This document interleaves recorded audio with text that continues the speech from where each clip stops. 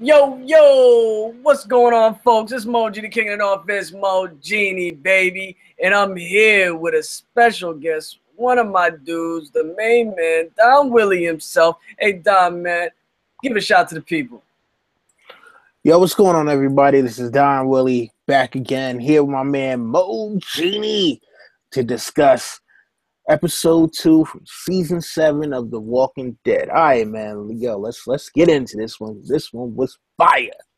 Oh man, these episodes are coming so quick, so fast. I mean, by the time we know this, the season will be done. For all the loyal subs on the Mogini platform, we're doing a little different thing tonight. We're talking Walking Dead, folks. This is another show that y'all know I like.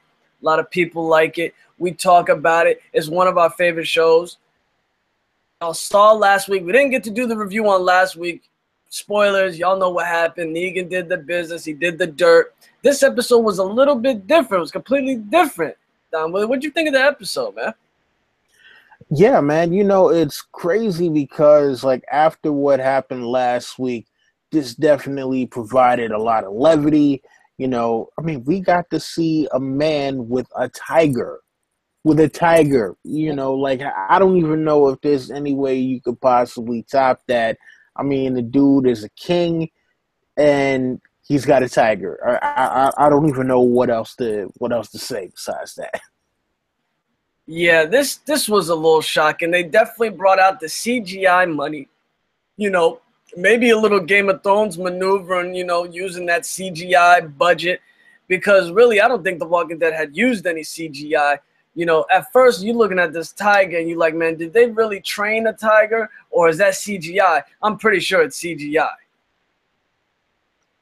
I mean, yeah, listen, uh, it looked CGI enough to me. Like it, like they they did a, a pretty decent job blending, but I could tell that it wasn't uh, a real tiger. And besides, I don't think that they would take the risk because you know uh, what happens if the tiger actually goes tiger. You know, you, you don't want to hurt any of the actors. Uh, but hey, for what it was, I thought it was spectacular. I thought it added a brand new dimension to the show that people hadn't seen in a while. And it was cool because it's just one of those things where instead of it being all, you know, just this heft to it, you know, we got some levity and you can take a second and breathe and just have fun with the episode. Yeah, basically. And like this was completely different from last week. I mean, this episode was a real cool down. This gave us a look at some other characters, not with the main group, not with Rick and them's group. It's it, it's Carol and Morgan doing their thing with another, basically another clan. Um, We've already met the Saviors. That's Negan's clique. That's their gang. It's a cult, really. It's a death cult, in my opinion. And that's what it is. Like them dudes got Stockholm syndrome. Them dudes is, you know, manipulated and you know, they they they they following the leader right now because they don't want to get their they head bashed in. So that's what's going on with the Saviors. We meet the kingdom people, and we've already met the Hilltop. Hilltop gang, that's Jesus in them's group. So this is a brand new group the kingdom, King Ezekiel. Let's first talk about when, when this episode starts. We first see Carol um, trying to run away, and she gets saved by people on horses. We're introduced to these people rocking horses, which is kind of like crazy because, you know, in Game of Thrones, the Night's King is using dead, you know, horses. And like on this show, you're like, can these horses become walkers too? You know what I mean? Like that's how I was picturing these horses. Like, are there walker horses out here? You know, but that's another that's another theory time for something else. Carol is seeing zombies as real people. Now, a lot of people speculated she's having some sort of mental breakdown. Well, what'd you think of that scene, man? Well, I thought that was kind of crazy because you see Carol and she's seeing the walkers, she sees them turn into actual people, and then you have the whole thing with the people from the kingdom who are actually chopping down the zombies and she's seeing them morph into people as they're being chopped down and then like one of the most interesting parts was when she finds that house and at first she sees the old lady, you know, waving at her. But then after that, you know, it winds up being a walker. And that was just kind of crazy. I mean, she's going through some serious PTSD. Um, but, you know, look, this is Carol. We've seen her go through a lot of stuff, but I, I think that at the end of the day, she'll be able to bounce back like no one has able, you know, like like no one has been able to before. You know, this is what she does. And I mean, come on, we, we all love seeing Carol do her thing. So I'm excited to see where you know where she goes once she gets her faculties in order. Yeah, she's she's definitely got some PTSD. I think what broke Carol was when the two little girls died back with her and um, what's his name? Um, started with a T, I think. The dude, the d- dude's brother, the, the the black guy. When when they were with Tyrese. The, Tyrese, yeah, when they were with the two little girls, and Carol had to kill one because the other one killed the girl because she was crazy. I think that's when Carol's, you know, psyche started falling off a little bit. You know, she did save everybody at Terminus, you know, but I just think she hasn't been the same ever since. She hasn't had Daryl around her for a while. Daryl was always her backbone, and now Morgan is kind of taking over that you know role with her. And and on top of that, Carol got injured when they met up with the with the with the fake police people that killed Beth. So there's a lot of stuff going on with Carol, you know, for a couple of seasons now. Um, so let's get to the main point. We get to the kingdom and we meet King Ezekiel Dude's got a tiger. He was a he was a zookeeper, and I swear to you, when we when I was watching this episode, I was like, man, this dude's an ex zookeeper. I swear to you, I just it just felt right. I was like, why would a guy have a tiger in the middle of all this unless he's animal related, working for PETA or something like that, man? What were your first thoughts on getting introduced to Ezekiel? Um, I wasn't sure what to think about him at first because, I mean, you know, here you have him. He's sitting like literally on a stage, and in the background, it's got a painting of a castle. He's got a guard next to him on one side, and then he's got a tiger. And when Carol gets wheeled down and she's looking, and she's just like, I don't know what's going on here. You're like, and she's like, I don't know what's going on in the, in the most wonderful way possible. And just seeing her reaction was priceless though because you know she still tried to play that sweet innocent you know kind of uh, motherly role and ezekiel was able to see through that pretty quickly and um, also you know when when they got out of there she was like are you shitting me to morgan uh, and morgan had to try to tell her like oh, look yeah, I get it. You know, this is this is a little out there, but uh, you know, we can work with these people at least. So I mean, that that was a, a good thing just to to see how, uh, just to see how we have the, hmm, uh, you know, that just to see that there's a group that still seems to be clinging on to hope. I mean, they have a societal structure, and I'm pretty sure we'll get to see more of how the kingdom works later on. Uh, but I think that you know they had to give us this kind of shock and awe just to bring us into the world and how things are, are way different for other groups than they have been for uh, the Atlanta survivors. Yeah, w- what I'm seeing with The Walking Dead is I'm really seeing the the the way that they're setting up different leadership structures. You see Negan and the Saviors, and they're obviously the bad guys, you know. And then you see the Hilltop Gang, and you know, they kind of had like a like a like a governor type figure leading them, but he wasn't really as crazy as the governor, but he was kind of out there. He was, you know, what, what do they call that? Eccentric or whatever. And then you get Ezekiel, and he's 10 times more eccentric than what we saw at the hilltop. And it's, it's just, I like what they're doing here. They're, they're planting flags. They're showing us the different terrains. They're showing us this group does this, this group does this, but everybody eventually gives Negan what he needs and produces for him because he's the big big man on campus. And sooner or later, something like that always breaks. You're not just gonna be eating all the resources because you're beating everybody up, you're killing people. That's not gonna work. And this transitions us into what the kingdom people are giving Negan's group, the saviors. They're feeding them pigs with that are fed to zombies. So we're assuming that they don't. That the first thought I got on this, before I go deep on this, give me your reaction on what you saw about this when you first saw these pigs eating the the, the walker and you knew what was happening. All right, when I when I had first seen them eating the walkers, I you know like, excuse me.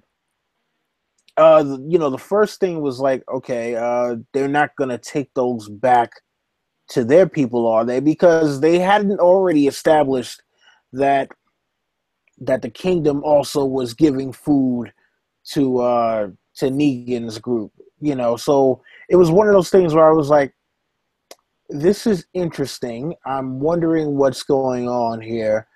And I was wondering, are they in league with the Saviors or do they have the same deal with the Saviors? And then by the time uh by the time Ezekiel's like, "Hey, Morgan, I want you to come along with me while we do this thing," I was like, "Yeah, yeah, yeah." It's basically a deal with the saviors. Uh, the interesting part, though, is that other than that close knit group of people that was with Ezekiel, no one else at the kingdom knows that this is going on. Uh, but once you see that it was like, okay, uh, when I saw them, you know, have the two uh, the two trucks with you know some of the pigs went with them, and then the other pigs went the other way. I was like, oh, okay, they're going to take those to uh, to the saviors.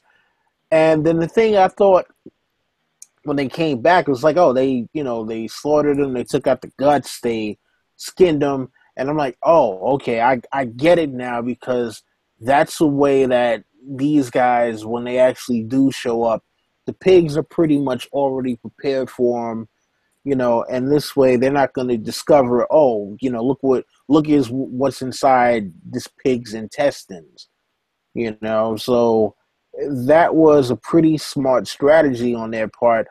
Uh, now I, I want to know whether it's actually going to take though. See, I didn't even think about it like that. So I'm kind I'm kind of glad you brought that up. That would someone actually check what the pigs are eating and open them up? I mean, it's possible if they got a butcher in there, you know, and, and they got a, you know, they do that, you know, in like a grocery store setting. But like, I immediately, when I saw this happening, because they, they showed it to us the way Morgan found out. Morgan found out, and Ezekiel explains to him, yeah, or, or the other guy, I forgot the other kingdom guy explains to him that this is what they do. They have to give Negan's group food to not get attacked, but they're gonna give him shitty food. They're not giving him good food. They're giving him shitty food. They're giving him tainted food.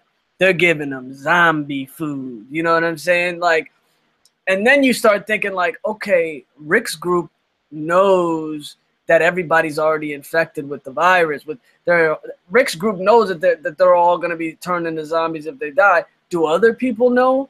because because then what would be the point of feeding the pigs? Because I'm assuming they're feeding the pigs zombies so that when Negan's group eats this, they all turn sick and die, and then they turn like that. That's what I'm assuming. They're basically killing them from the inside. You can't kill Negan's group in an army battle style, but you can kill them from the inside. You know what I mean? Put a you know, do some biological warfare on those asses. You know what I'm saying? Some chemical warfare. You know, so I'm thinking nobody else knows other than Rick's group that they're already all infected, man. Do you think other groups know that they're all fucked when they die? I don't think that they know that specifically. I mean, you know, in terms of it being uh, a worldwide uh, incurable virus. I mean, because remember, you know, Rick found out because of the dude from the CDC in season one, like right before they were all, you know, right before they escaped out of there. So that was, you know, just a, a crazy thing because remember Rick didn't even tell anybody for a while. You know, it was like halfway through season two before he actually said, "Hey, well, yeah, remember that guy at the CDC who wound up being, you know, like literally a mad scientist? Oh yeah, he told me that everyone is infected and basically we are the Walking Dead."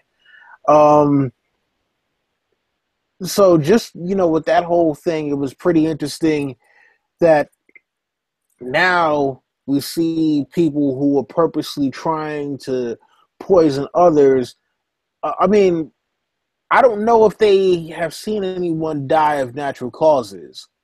You know, there's always uh, walkers that are popping up, but whether they have actually seen someone die and they know, like, once you die, you turn, that that's debatable. Uh, like, we haven't really seen that explained yet.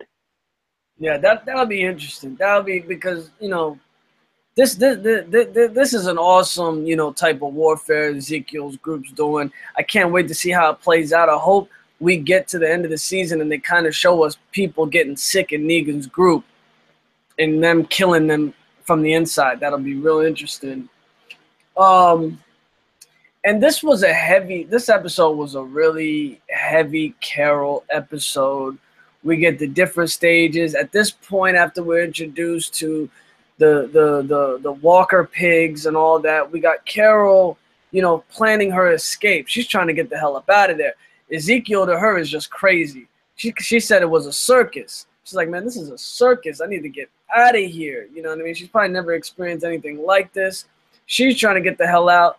She's pretending to be all, you know, she she was doing the act that she was doing at Alexandria and trying to pull the wool over people. But Ezekiel wasn't having it. You wasn't going, you know, just keep doing that babe in the woods routine and, and try to get away with it. Ezekiel caught on and that and that was it, man. What what what would you think about what Carol was, you know, planning out? I mean, look, it was obvious that she had to get caught. You know, like if it wasn't her getting caught in that garden, it would have been her getting caught on the road.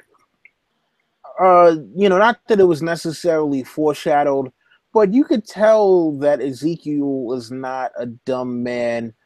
And if it wasn't uh, Ezekiel that caught her, it would have been Morgan. You know, so I think it was interesting that you know he he had Jerry with him, and I'm still wondering how much does Jerry actually know because Jerry seems to be uh, Jerry was the comic relief. Like on top of the fact that you already have Ezekiel, which comes off as as a little, you know, out there. Or, you know, Jerry comes and he's like, "Deuces," and that was just yeah. the most hilarious thing. And to see Carol now, uh, you know, trying to explain like, "Hey, look, I'm not really trying to be here," and you know, then Ezekiel tried to, you know, well, not tried to, but he dropped his act basically and spilled his guts about who he really was. But he recognized, you know, uh, that she was also putting on an act. He told her, you can't bullshit a bullshitter, you know. So I thought that was cool that that he was like, all right, well, look, you know, yeah, you're you're you're here and you're putting on the actor for people who don't know any better. You can fool them, but I'm putting on an act all the time. It's like you think I'm crazy because you actually believed the you know the the bullshit that I was spinning, but no, I know that this is you know this is just what I'm uh, doing, and I just happen to be good at it. I'm good enough that people will follow me and plus I've got a tiger. So, you know, uh, so yeah, I just thought that that little heart to heart that they had was was really interesting, and maybe we'll get to see a different side of Carol now that she knows that she's not alone in the way that she's coping with the world. Because I think that she might have thought that she was alone just with the way that she had to cope with this whole thing. Yeah, that that and and that guy with the comic relief, the whole time he was on screen, I just kept thinking he just reminded me of like a big sumo wrestler anime character. You know, it's just like those funny, you know, anime like a cat type of character in anime. It's so funny. Um, and yeah, so Carol's, you know, this. Then we get to Morgan, and Morgan is like, you know, Morgan's still having his, you know, back and forth with using guns and not wanting to use guns, and you got this kid with him that, that Ezekiel wants him to train, you know, trying to do a Mr. Miyagi impression. So everybody wants to know, everybody's basically trying to learn Morgan's, you know, techniques is, is what I see. Every time people run into Morgan, they're like, how'd you learn how to use that, you know, stick and teach me, you know what I mean? So he's doing a real good Miyagi, you know, character profile, in my opinion, on the show he's like the wise guy. He's the wise one. And, and if you can get to where Morgan's at, you'll be better in life. You know what I mean? This is what his character looks like to me. Well, where, where do you think they're trying to go with Morgan, man? I mean, well, for one, I think they were trying to redeem him from last year because, let's be honest, you know, last year, uh, as much as we wanted to see Morgan from before because he was an interesting character, he's the first guy that Rick runs into after the zombie outbreak. And then, you know, when Rick sees him later on, he's crazy. And now he's all super zen and peace loving and I don't want to kill anybody. And we kind of see that, you know, him letting that one wolf go may have screwed over Alexandria for a little while and I think that might have pissed off fans a lot. So now I think this is part of them trying to rehab Morgan's image, and also, you know, at the end of the day, Morgan does know how to fight, and they have those people out there who just are not fighters, and they need someone to teach them.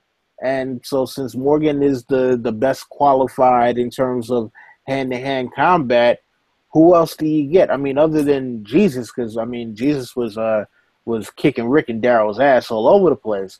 But you know, if if it's not going to be Jesus, then it's got to be Morgan teaching people how to fight. And uh, you know, I thought it was cool. Like, I'm wondering how long uh, Morgan and Carol have been at the kingdom by the time we see like the little training montage that he's doing with that one kid whose name escapes me right now. But like I said, it was it was cool to see Morgan's image kind of kind of get a rehab after you know the beating uh, that he took by fans last season. Yeah, and, and like I kind of didn't really look into that. You know, I mean, I guess it does look like he he the fans really backlashed on him for letting that wolf go. I mean, I kind of looked at it like that's Morgan. You know, that's that's his character. You know what he is. You can't get mad at him for not breaking character because that's who he is. He's not just going to kill somebody just because they're a bad guy. He doesn't kill people, period. He tries to change everybody. So I'm kind of, you know, shocked that fans would get mad at that, you know, or because if all characters hated the bad guy, you know, or wanted to kill the bad guys, like shows would be bland. You need characters with different, you know, different psyches, different auras about them. So I, I mean, I can see why people got mad at Morgan for that, but I see him as an integral part of this apocalyptic world. Somebody like him that's been as deep down as he was, going crazy and then coming back up and surviving this long just tells you anybody who's survived up to this point they're a G. They're they're meant to be here. They're meant to do what they're doing. Long may it reign. And the I guess the I, I don't know if there's anything else that was in the episode I can think of, other than a couple of those reveals that you know Ezekiel you know showing himself to Carol what he truly was. And is there is there anything we missed on this episode? You're muted. Sorry about that. Uh, yeah, there was the one little interaction between uh the saviors and the kingdom group when they were, you know, giving them the pigs, and the one dude oh, is yeah. is talking shit, and they get into that little scuffle, and dude, you know, it's like, oh yeah, yeah, I get you know free shots, and you know Ezekiel's like, yo, get your man. get your man, you know, be easy. We got it. We got a deal. Your boy, you know, stepped over the line, but you know, then they kind of let him know, like, all right, well, yeah, you know, just make sure you have our food when we come back, or else we're gonna kill that dude first. And I was like, damn, man. Um, you know, uh, look, there's got to be a breaking point where, you know, they're gonna go after uh, after the saviors because you you just can't have this whole thing where he's just subjugating these people, you know, to no end. Like there's got to be an end at some point. So whether it's this season or next season, I don't know. I'm I'm not up on the comics like that, but Negan's got to have a fall, you know, and they're gonna have to band together in, in order to stop him. How they're gonna do that, I'm not exactly sure, but you know, because I mean, the Saviors are super organized they are organized, you know, like a military force. And I mean, they they've already said that they have all of these satellite outposts, and we don't know how many of them there are. So, you know, they they still got walkie talkies and and station houses and stuff. So, I mean, who knows? You might, you know, decide to do this all out assault on them and then find out like, nah, that was just, you know, another small group. We still got like five more groups with you know 20 or 30 people each and all you know strapped up like like they just came out of the rambo school of war so uh yeah man that's gonna be pretty interesting to see you know the the interaction with the saviors going forward and if i can if i can make a prediction um someone from the kingdom is going to get killed off, maybe a couple of people from the kingdom are going to get killed off. And I think it's possible, and you know, uh, don't spoil it in the comments, people. But I think it's possible that uh, one of the saviors is going to wind up killing uh, Ezekiel's tiger. Don't want it to happen, but I think I think that is you know it's going to be one of those things where Negan is like, oh look, see, I told you, and you know, you you didn't produce, and now I got to kill your tiger. Yeah, that's that's that's a good prediction. I I was I was thinking that that you know Negan at the end of this might get the Ramsay treatment and and get like how Ramsay got killed by the dogs. You know what I mean? Negan gets killed by the tiger, and we just get this you know babality, this bestiality type ish. You know what I mean? There's like Mortal Kombat finish him, and the beast comes out. You know what I mean? The tiger finishes him. You know what I mean? I I can see that we we getting a good tiger gory death. I mean, it's just set up right. The tiger's gonna get somebody, whether it be a walker or whether it be one of the saviors. The tigers, we're getting to get a gory scene with the tiger before the tiger leaves, folks. That's how it is. Um, you got CGI money, you're gonna use it, and um, I'm I predict that Negan you know, other than us getting the tidbit that, that the pigs are gonna, you know, it's like chemical warfare, eating them up from the inside, killing them from the inside. I believe his right hand man is gonna kill him. You know what I mean? We don't know. We didn't read the comics, folks, so please don't spoil it for us. But I feel like on the show is gonna be his right hand man because power breeds power. These dudes is like a death cult, you know. So this guy's gonna kill Negan so he can get that power, and then someone's gonna kill him, and on and on and on and on. That's what happens in these type of power struggle groups. Like with with the saviors meeting up with the kingdom people, like I like that interaction because you can see they respect Ezekiel, but then you you see them put their stamp on it at the end, like, oh, if you don't produce, well, we're gonna go kill that guy first. Like, you know, that guy was trying to respect Ezekiel, but at the same time, they don't want to give him too much power, so they gotta add the oh, we're gonna kill him next if you don't got our shit. You know, you, you, you can see that type of power move they were doing, right? Most definitely. I mean, you know, it was definitely an intimidation factor, and they were going out of their way to let them know, like, we have the power here. Yeah, okay, you call yourself King Ezekiel, and you have the kingdom, but who's really the king? Is it is it you or is it the guy that you're paying not to kill all of your people right now? Yeah.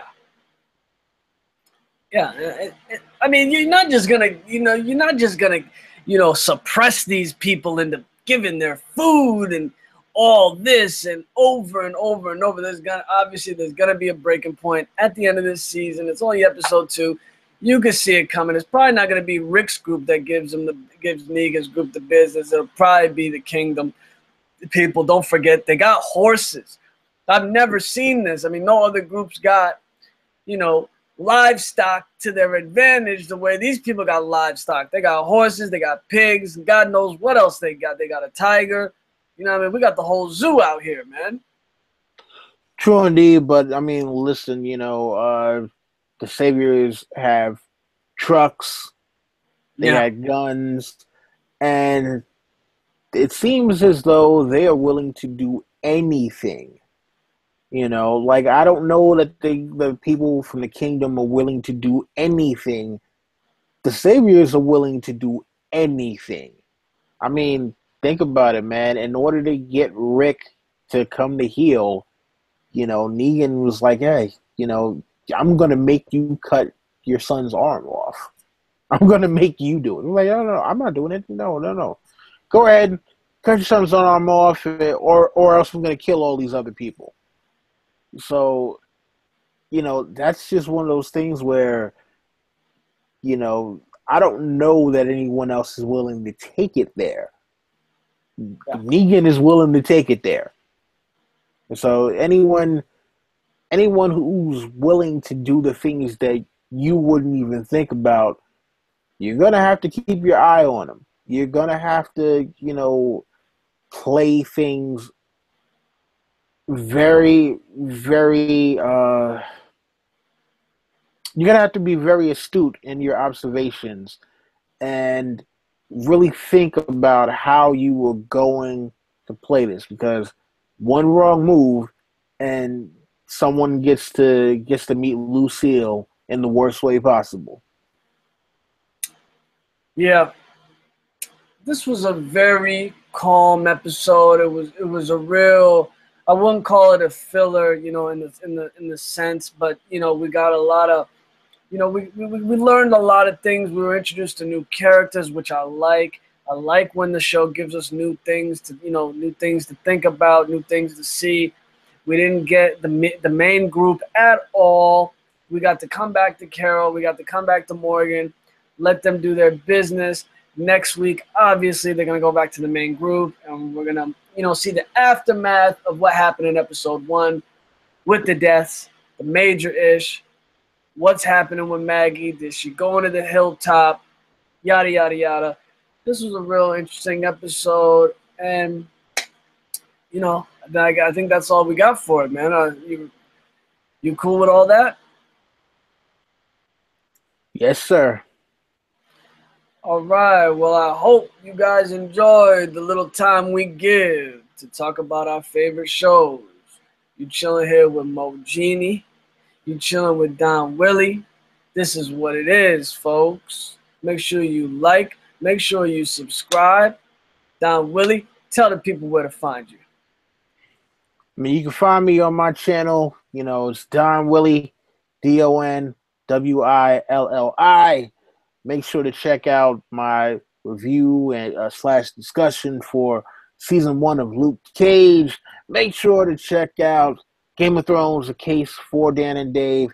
And as soon as I finish uh, getting over these technical problems, I will be uploading for the people who aren't such fans of Dan and Dave the case against Dan and Dave. Hopefully, I will have that out by Saturday, barring any uh, you know mishaps with uh, technical difficulties, and you know more videos, more videos to come.